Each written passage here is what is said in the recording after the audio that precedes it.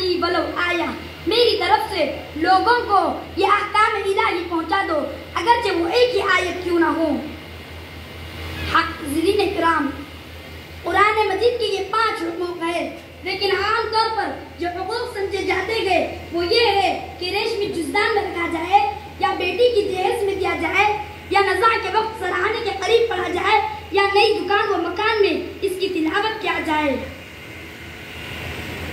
برادران اسلام ہمارے حال پر حضور صلی اللہ علیہ وآلہ وسلم کا یہ فرمان صادق رہتا ہے کہ ان اللہ یضع بہذا الكتاب اقواما ویضع به آخرین بلا شبہ